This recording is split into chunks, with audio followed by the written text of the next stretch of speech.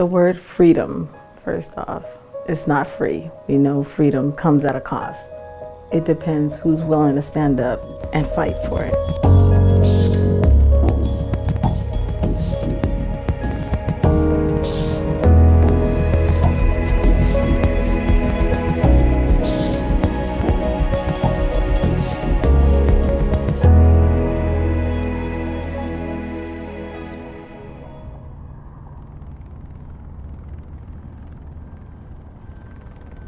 I'm Tech Sergeant Shanate Jones of the U.S. Air Force, mother of three, and I'm a freedom writer. I made the decision to join the military when I was nine. Of course, not knowing exactly what it meant. My grandfather served in the Air Force for 23 years, so to hear his stories really intrigued me. That's why I made the decision to join. After four years in room 203, right after graduation. I needed a little bit more. I didn't know exactly what it was, but when we enrolled in Orange Coast College, it didn't give me the edge that I was looking for. I figured that was the time for me to go.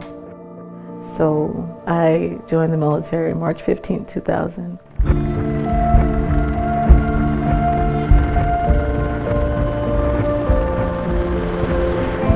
I was in Germany, I've been to Iraq, I've been to Kuwait, I served in Operation Iraqi Freedom and Operation Enduring Freedom.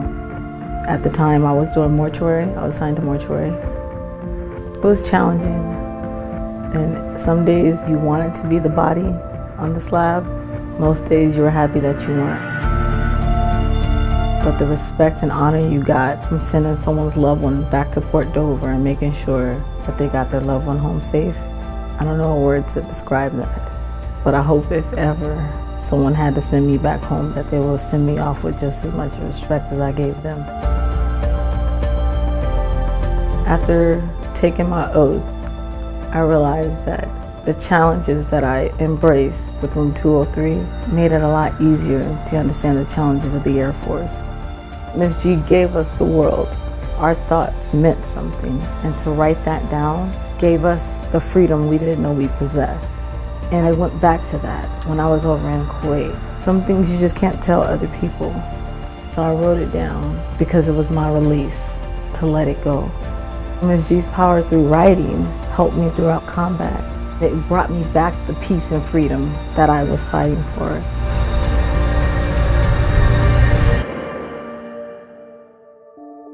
I served in the Air Force for 16 years, 10 months. I've dedicated myself to my country and to everyone else. My children are loving having me as a whole, and so am I. So right now, I'm building myself back up, reminding myself that what happened to me in room 203 will always be with me. We will forever be freedom writers.